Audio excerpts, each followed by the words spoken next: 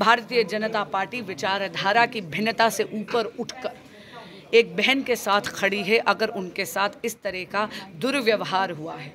ये कहा गया है कि माननीय मुख्यमंत्री अरविंद केजरीवाल जी की मौजूदगी में उनके उकसाने पर, उनके ऑफिशियल रेजिडेंस पर sitting member of parliament Swati Maliwal ji के साथ माननीय मुख्यमंत्री अरविंद केजरीवाल जी के ओएसडी ने उन पर हाथ उठाया है। ये बहुत शर्मसार करने वाली बात है।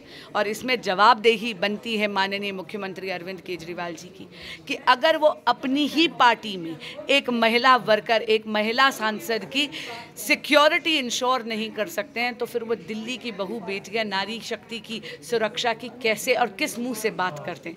आप भी जानते हैं, पहली बार नहीं हुआ। पहले भी एक वाक़ आया था जहाँ पर चीफ सेक्रेटरी को माननीय मुख्यमंत्री अरविंद केजरीवाल जी की मौजूदगी में आम आदमी पार्टी के ही विधायक ने उन पर हाथ उठाया था। मैं पूछना चाहती हूँ मुख्यमंत्री केजरीवाल जी से कि ये कैसी रीत है आपकी पार्टी की? जहाँ पे ना जनप्रतिनिधि सुरक्षित है, ना महिलाएँ सुरक्षित हैं, ना चीफ सेक्रेटरी सुरक्षित हैं। आपके ऑफिशियल रेजिडेंस पे बार बार लोगों पर इस तरह हाथ क्यों उठाए जा रहे हैं? आपकी जवाबदेही बनती है।